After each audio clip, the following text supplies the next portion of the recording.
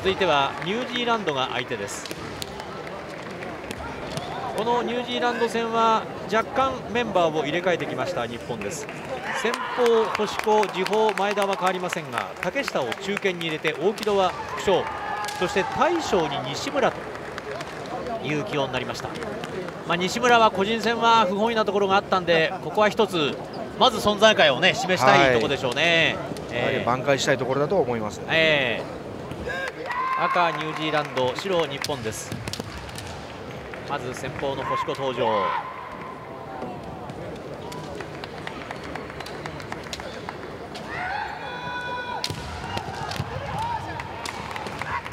ニュージーランドの正則松波。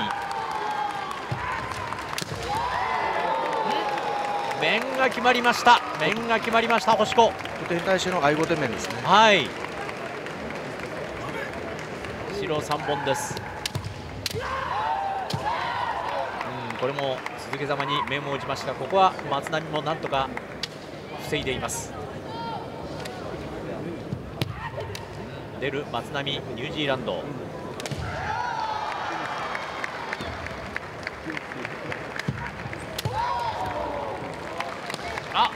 これは場外ですね、ちょっと不用意に下がりすぎましたね。出ましたね松波に反則1ということになります。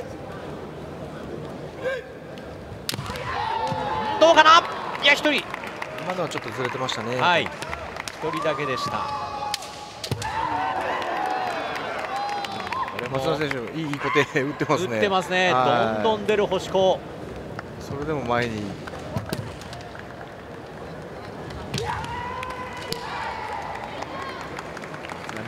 懸命に防戦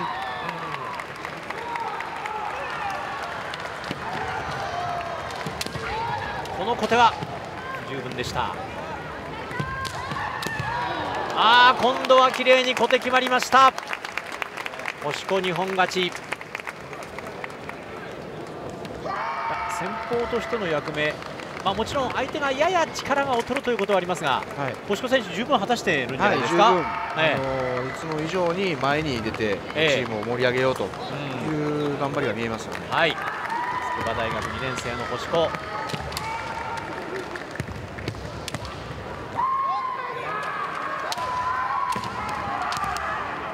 さて続いては前田です。ニュージーランドはファン・ジウォンです。前田が出ていきます。まあ、あのそんなに深くは考えてないと思うんですけどもなんかあの先方が多い前田選手としては自分だと若干勝手が違うというところはありますかね？どうでしょうか？やあの全国大会は先方してますけども、ええ、それ以外の大会ですと後ろに回ることもありますのであそうなんですか、はい、若い選手を前に出してとか、うんうんうん、特にそこまでは考えてないと思います。そうですか、はい、まず小手が決まりました。前田。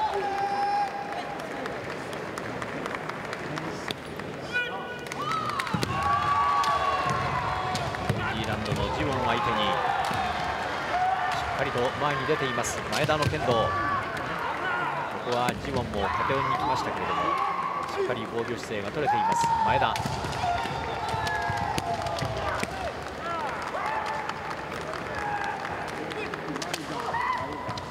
予選リーグ最初の試合はラトビアに5対0で勝っている日本。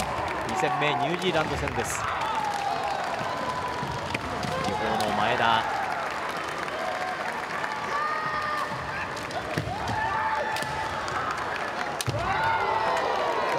は決まっていません。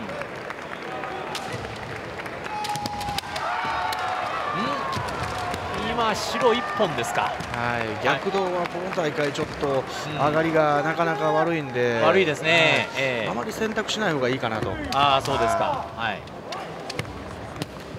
なかなか逆動で今回1本取ってる選手が少ないですね。はい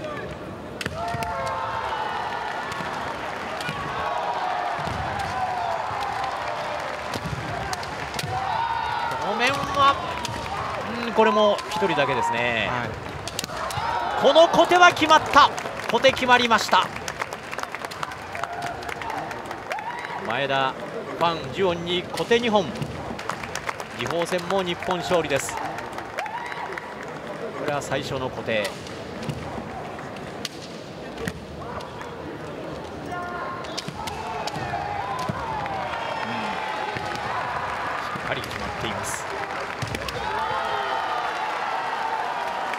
中堅戦。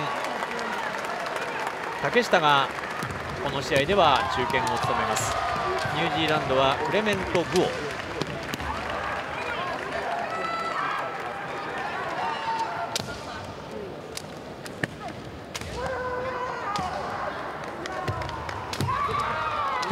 うん、グオが出てきます。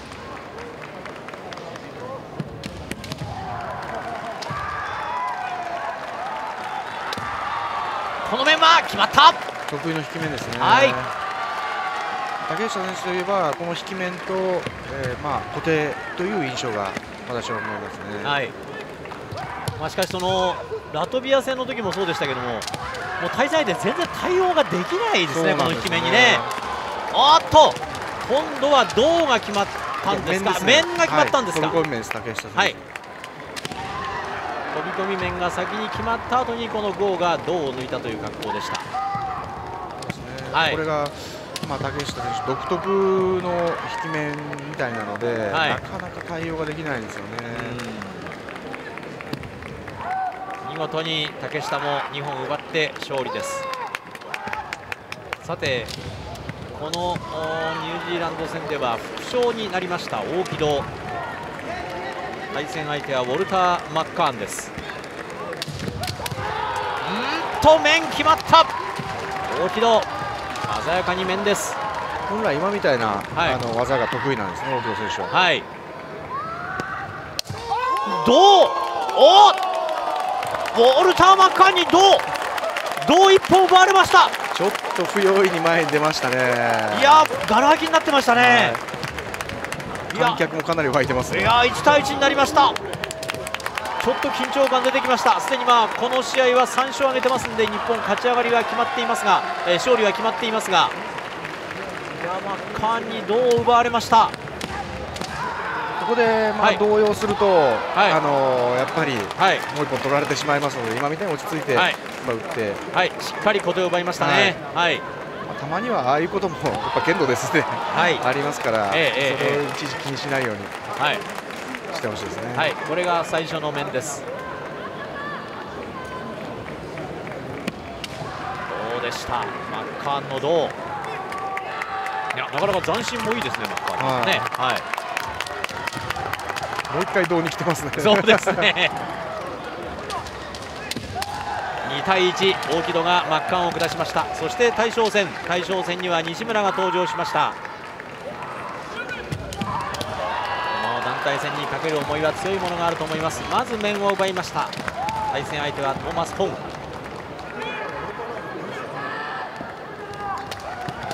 逆道に来た。トーマス・ホン。トーマス・ホンは上段？上段ですね。ですね、はい、いや激しい動きです。トーマス・ホン。ニュージーランドの大将村もなんかその辺に近いような市内を横にしていますが。上段に対しては、はい、えー、市内を外して構えるという相手の左後手ですね、はい、左後手に、はいはい、あの合わせて左後手を狙う構えになるのでああいう構えになる。なるんですね、はい、はい、ただ今全国的に見ても日本国内でそのあんまり上段の使い手っていうのがあの上位に上がってこないので、はいはい、我々の世代とかその上の先輩方の世代ほど上段に対してうまい選手がいないのも現状ですね。ああそうなんですか、はい、確かに上段減りましたよね。そうですね、えー、まずこの本に対して面を奪っている西村ではありますがトーマス・ホンもなかなかその後は粘っています。対ニュージーランド大将戦です。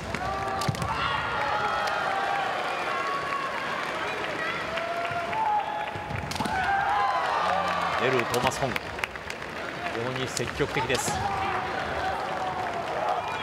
まあ、西村選手としては、はい、上段に対してそんなに得意でないというならやっぱり引き技っていう選択肢になりますよね。あこれは小手決まりましたか、はい、決まりましたね。無理せず今のようなところで勝負した方がいいと思います。はいトーマス・ホンに対して面と小手2本を奪った西村、うん、これは最後のシーンです、はい、